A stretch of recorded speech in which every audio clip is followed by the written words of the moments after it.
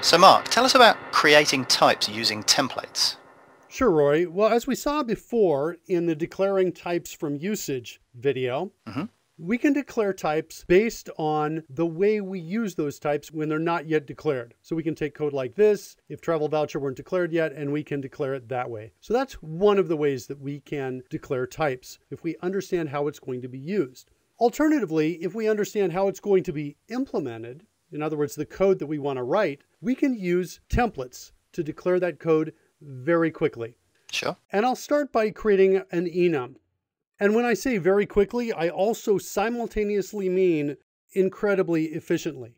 So you use the fewest keystrokes possible to declare that. Sounds good. All right, so to declare a new enum, I put the caret where I want the enum to be, and then I hit the letter E for enum. And you can see over here on the right, I've got a cheat sheet up for you here. Use letter E for enum. Okay. Yeah. And then I'm going to hit my template expansion key, which is either the space bar or the tab key. If neither of those work for you, just go into the CodeRush menu and choose the setup wizard. And you'll see an option in there for choosing one of those two options for your CodeRush template expansion key. Okay. So now that I've expanded the E template, the name of the enum is selected for me here with this orange box. That's a text field. That means whatever I type in here, when I hit enter afterwards, it'll go to the next text field. So let's call this the section for our airplane seating. And so now that I've typed in the name of the enum, I'm done with that field. I can now press enter to go to the next field, which you can see is highlighted for me right down here in this first element. Yep. We can see that's our next location. All right. Yep. So I'll hit enter, and now that one is now selected. And I'm going to type in coach. Okay. And I'm going to hit enter. And now I have it automatically down to the next line with a new element that I can create. And here I'm going to type in business, and I'm going to hit enter. And now I'm going to type in first. And I'm done now with the enum. So to get here, just to recap, I use the letter E, Yeah. followed by the space bar or the tab key, whichever my template expansion key is Mhm. Typed in the name of my enum and hit enter. And then that took the caret from here all the way down to there. Yep. And then I typed in coach and I hit enter. I didn't have to hit a comma. No. I didn't have to do anything else. I just hit enter and it added the comma for me. I typed in business and I hit enter. Now I typed in first. So we, we're literally just typing the names of the concepts we're interested in, enter after each one. It's just like making any other kind of list. There's no worrying about braces or commas or, or any of that stuff. That's right. Just the names of the symbols. We're typing those in and hitting enter between each one. By the way, you can anticipate that if I keep hitting enter, Absolutely. I was going to say you could invent any number of sections at this point. So I'm curious, how are you planning to stop?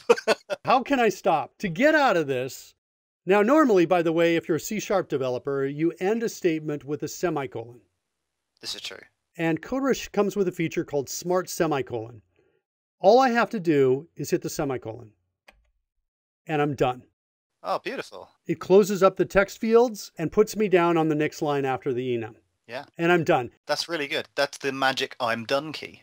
It is. This is the most efficient way to declare an enum that's possible right now without drilling a hole in your head and putting in sensors directly onto your brain.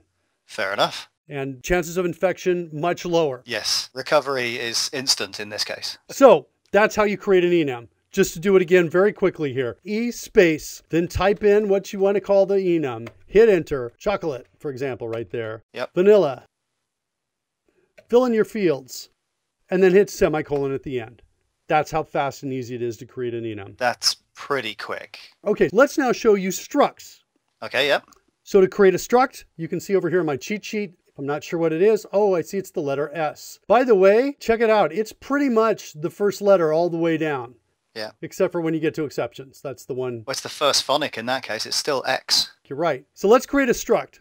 I want to create a struct that represents where in the airplane the seat is going to be. In other words, what seat row is it? Okay, And what's its column? Or is it A, B, C, or D? That sort of thing.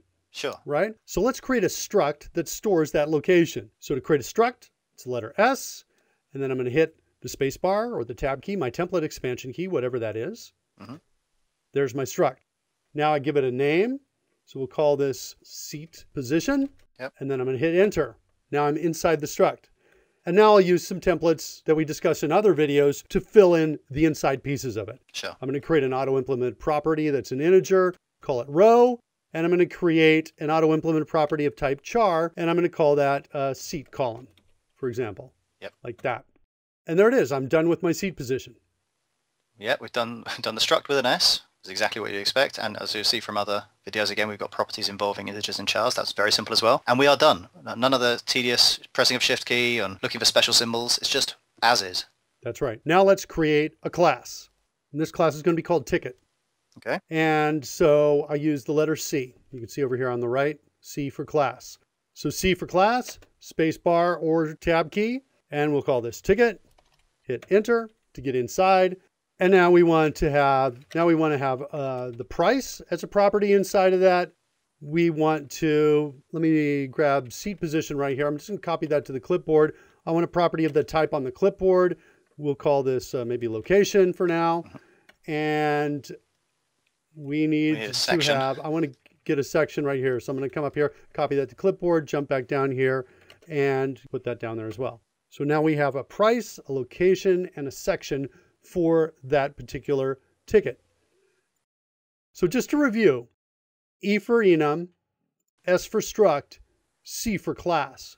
And of course, CodeRush taking care of some of the syntactic details that we just don't need to know. These templates, for those who don't know, cover both Visual Basic and C Sharp. It's the same keystrokes in the same order, generating exactly what you need. So for example, where there are differences in syntax for something like a class, you see the constructor there named after the class in C Sharp. VB.NET, this is not the case. We use the keyword new, uh, but you don't need to know that. Okay, you can move between the languages pretty easily by just using this kind of concept. That is correct. Finally, let's create an interface. So I for interface, let me go back so I do that a little slower. I for interface, spacebar or tab key, Mhm. and then type in the name of the interface here. So we'll call this the I seat upgrader. Sure. And let's go grab that ticket reference, come back down here, we're going to create a method that returns a ticket like that. And we'll call that method upgrade seat. We drop a marker, grab seat position, come back. We'll create a variable of that type seat position and call it position. And that's it. Sweet. So I'm showing you the first four here. I'll just quickly show you the last two. D for delegates.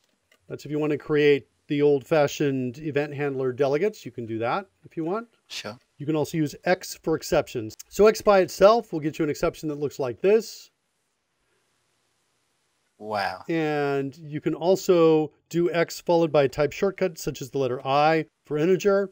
And you can add an additional property there. You see there it's declared a property of type int called value here. Sure. And maybe we want to create an exception that actually has our ticket in it. So let's copy that to the clipboard, come down in here, and we'll use that slash key right there. And so now we've got a ticket exception. So let's just take a few seconds to look around this generated code we've got here. Look at the amount of boilerplate that is just done. All of those linked values Yeah. that you would otherwise be having to type, the, the number of repetitions of the phrase ticket as appropriate to each of those cases. I, I can't even begin to imagine how much time this one template expansion might save me. Yeah, there's a lot there. You can see all the links, all these pieces are linked up. Making a change to one changes all the others. And it even gives you, in the exception, a, a property of type ticket there as well.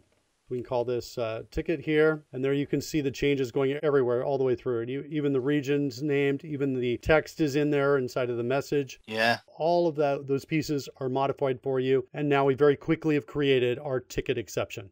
Now, just in case people are wondering, you know, can they make their own? We're not going to dive into that here, but the answer is yes. If you wish to make your own templates for your own custom in-house classes and similar repetitive procedural code, this is entirely possible. Okay. Yep. This serves as a great example of the complexity you can reach, and indeed you can go far further should you want to. But using them is an absolute breeze. Yeah, that's right.